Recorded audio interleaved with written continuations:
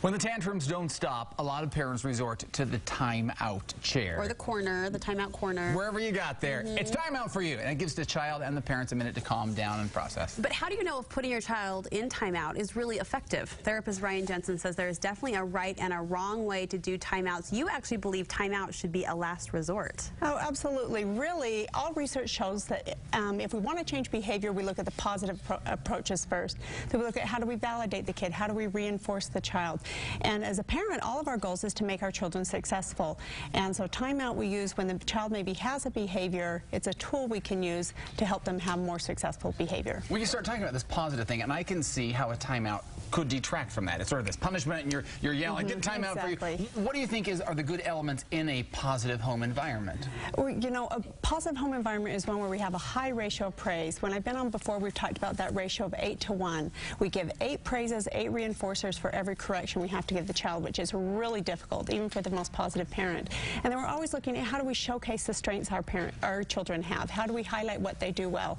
And then again, always looking for things to reinforce, focusing on what our kids do right, not what they do wrong. At the end of the day, though, sometimes those positive approaches don't change behavior or don't get the behavior you're hoping to coach and to mm -hmm. teach. Is that when timeout can be effective? Exactly. That's when we use a tool like timeout. And timeout, again, it is a tool to help the kid have more successful behavior in the future.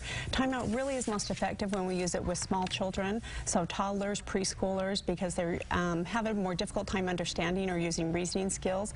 And so that's re really our prime, um, prime age to use timeout. So my 18-year-old's happy to hear this right now. I, I won't yeah. put him in timeout anymore. No, You've got some other some, tools for him. Yeah, you got some good keys to help us make these effective timeouts. The first one you say is to choose a behavior. Is that that mm -hmm. we're going to mm-hmm. associate with the timeout? Exactly. A lot of times parents think the timeout can be a catch-all for every poor behavior the child has. And the reality is if we want it to be effective, we focus on one behavior the child is really struggling with.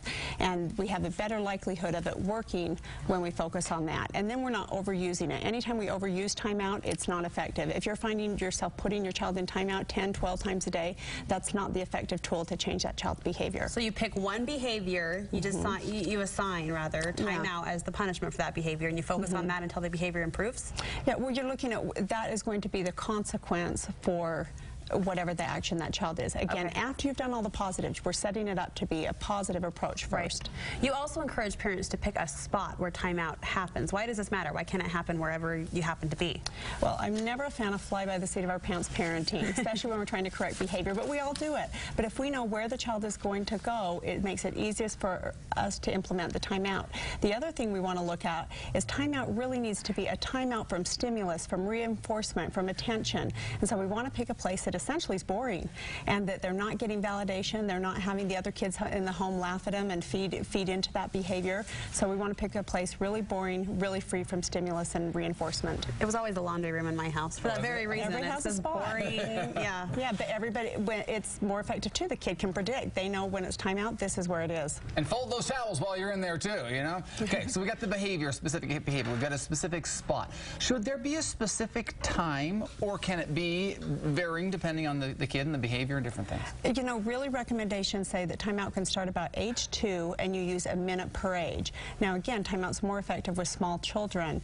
Um, for a 12-year-old, 12 minutes of timeout, not so effective. And so we look at a minute per age when they're younger. Always set a timer. Parents, we're busy. We put the kid in timeout. We answer a phone call. We check our email. Use a timer. Use your phone. Use your kitchen timer.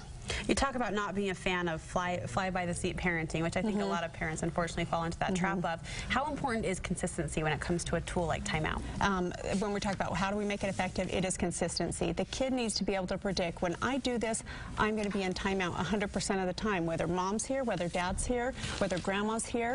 This is going to be the consequence when I do that. So we have to be consistent.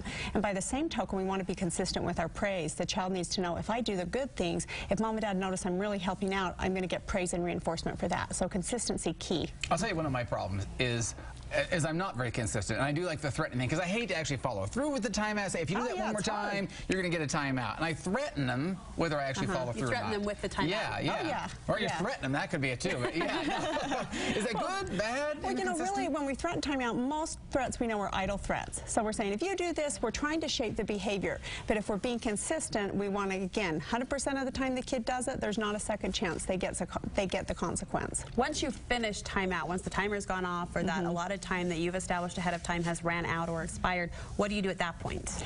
You know, really, I like to just end the timeout and say timeout is finished. Some people like to process. Uh, the approach that I've seen successful in families I work at, with is just saying timeout is over or timeout is finished, and then you're immediately looking for things in your environment that the child is doing right to shape future behavior. Saying the minute they start helping, I like the way you're helping your sister. I like the way you're keeping your hands and your feet to yourself, and reinforcing right when timeout ends. So then the child learns to get mom and dad's attention. This is what I've got to do. Al- Also, sometimes it's not just about the child getting a timeout. Sometimes it all comes down to other contraptions, electronics and stuff that come into it. Explain that, how that works. Mm-hmm. Yeah, you know, you talked about your 18 year old son. All teenagers I know, the cell phone, the car, electronics, they have a lot of power. So sometimes where we can't physically time out a child, we look at um, objects, toys, favorite items that we might be able to time out instead. Also, a big fan of the parent timeout. When you're losing your cool, you run to the bathroom, you do something, but get yourself out of that situation before you have a negative interaction with the child. Good advice, and, and I think a good reminder to parents to look for that positive, like you said, that 8 to 1 ratio. Yeah. To really play up the positive during the day when you can and let timeout be a tool that's a last resort. For sure. Thanks, Ryan, so much. Hey, thank you. can find Ryan's complete article for making timeout effective on our website.